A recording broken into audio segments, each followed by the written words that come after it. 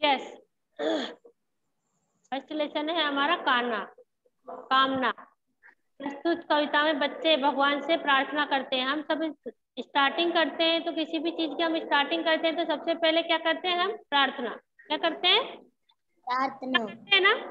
हाँ स्कूल आते हैं तो अपन प्रार्थना करते हैं। अगर दिन की शुरुआत करते हैं तो क्या करते हैं?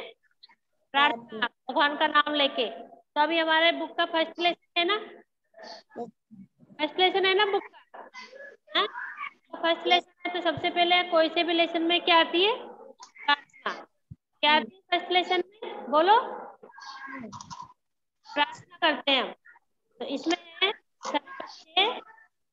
भगवान से क्या कर रहे हैं? प्रार्थना। प्रार्थना कर रहे हैं कि, हे भगवान, हमें सद्भावना दीजिए। क्या दीजिए हमें? सद्भावना अच्छी अच्छी बातें अच्छा अच्छा बोलना, है?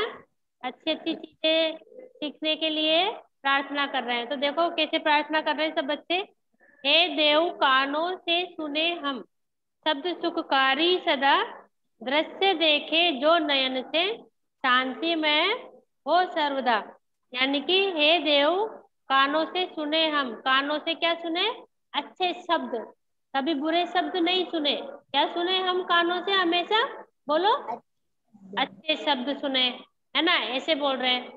आगे है दृश्य देखे जो नयन से शांति में हो सर्वदा। नयन यानी होती है आँखें। क्या होती है नयन मीन्स आँखें। आँखें है ना?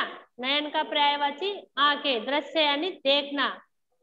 दृश्य सुंदर सुंदर। दृश्य देखे जो नयन से शांति में हो। ऐसे दृश्य देखे जिनको देखने से हमारे मन को क्या मिले? शांति। क्या मिले? शांति। हाँ अच्छा लगता है ना जैसे गार्डन में जाते हैं तो गार्डन में अपन अच्छी चीज़ें देखते नहीं देखते? बोलो। तो अच्छी चीज़ें देखेंगे तो हमारे मन को अच्छा लगेगा ना? तो यही हम ये प्रार्थना कर रहे हैं कि हम जहाँ भी जाए अच्छी अच्छी चीज़ें देखें और अच्छे अच्छे शब्दों को सुने जैसे भजन सुनना अच्छी अच्छी बातें सुनना गाली गलौज ना सुने कभी किसी से हैं? और हमेशा अच्छी अच्छी चीज़ों को देखें। तो ये हम भगवान से बच्चे सभी मिलके प्रार्थना कर रहे हैं। हम कर्म करें कर उत्तम करो से मन के भागी बने। हम देश का हित साधने में पूर्ण ही त्यागी बने। क्या कह रहे हैं? बच्चे सारे मिलकर क्या प्रार्थना कर रहे हैं भगवान से? हम करें कर उत्तम, यानी कि अपने हाथों से कर यानी होते हाथ। यानी कि हम अपने हाथों से अच्छे अच्छे काम करें। ठीक है मान के भागी बने और देश के हित को साधने में हम देश का भला करने में हम उसमें भागी बने। हम देश का भला करने में क्या बने? हम उसमें भागी बने।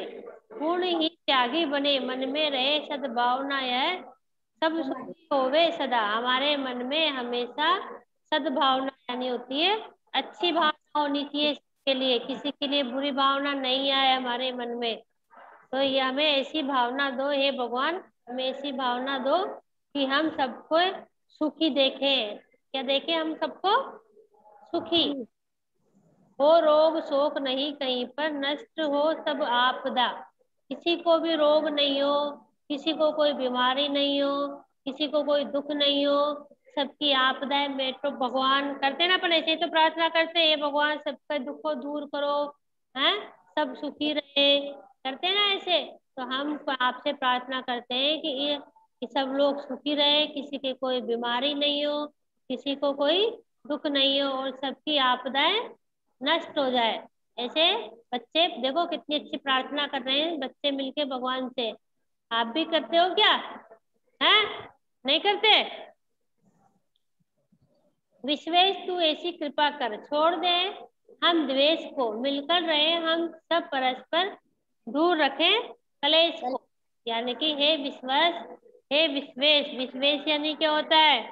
हैं?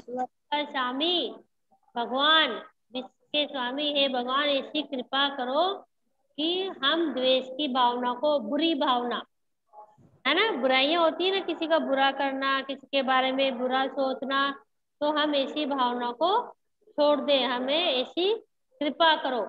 है ना? हमें ऐसा आशीर्वाद दो कि हमें हमारे मन में किसी के भी प्रति बुरी भावना नहीं होनी चाहिए। हम मिलकर रहे हाँ? किसी के भी कोई क्लेश ना हो और हम सब एक दूसरे के क्लेश को दूर करें। इसी भावना हमें दो। बस कामना है यह हमारी। पूर्ण इसको कीजिए। हे हम पुत्र तेरे हैं प्रभु। निज शरण में रख लीजिए। हम आपसे यही प्रार्थना करते हैं। हमारी यही कामना है प्रभु कि हम आपके पुत्र हैं और हमें आपकी शरण में रख लीजिए। है ना? ऐसी प्रार्थना कर रहे हैं सब बच्चे मिलके? हैं? कितनी अच्छी प्रार्थना है ना? मैम बोलो। हम्म? यस तो इस तरह से सब बच्चे क्या कर रहे हैं? प्रार्थना ठीक है? आया ना समझ में? निज शरण में रख लीजिए। निज शरण में, यानी कि अपनी शरण में, हे प्रभु, हम तुम्हारे पुत्र हैं, आप हमें अपनी शरण में रख लीजिए। ठीक है? आगे नेक्स्ट जैसे क्वेश्चन आंसर है आपके, ये शब्दार्थ है आपके। देव यानी क्या होता है? भगवान। देव मीन्स? भगवान। हित यानी भलाई, दृश्य यानी देखने की वस्तु। ये आपके शब्दार्थ है।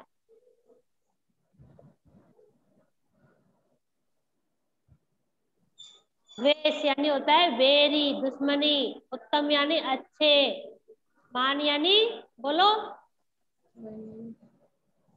इज़्ज़त, मौखिक उच्चारण कीजिए। ये, इनको पढ़ो। हार्ड वर्ड है ये पढ़ो इनको रीड करो। प्रस्तुत पढ़ो। सर्वदा। बोलो ऐसे। मैम। बोलो। मिमी टू नंबर का। फ़र्स्ट नंबर का उच्चारण कीजिए।